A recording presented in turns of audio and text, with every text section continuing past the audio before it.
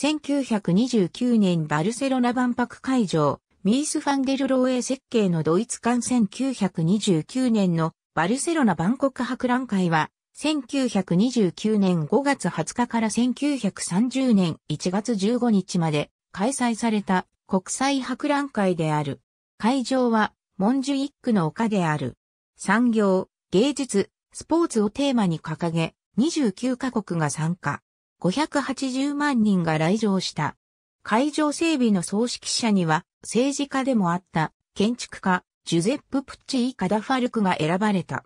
スペイン広場を起点とする軸線の両側に15の展示館、競技場、スペイン村などの施設が建てられた。当時はアール・ヌーボーが衰え、国際的なモダニズム建築が台頭し始めた時期であるが、主要な施設は古典主義様式により建設された。建築史上に残るのは、ミース・ファンデルローエの設計したドイツ館で石、ガラス、鉄、水面で構成されたモダニズムの空間造形となった。